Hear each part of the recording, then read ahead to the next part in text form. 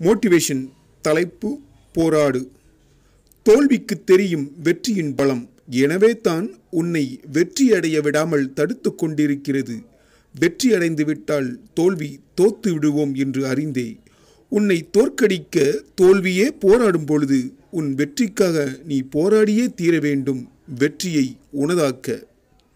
By Tharuvai புபி Arun. மேலும் இதுபோன்ற வீடியோக்களை காண தருவை பி அருண் கலெக்ஷன் யூடியூப் சேனலை சப்ஸ்கிரைப் செய்ய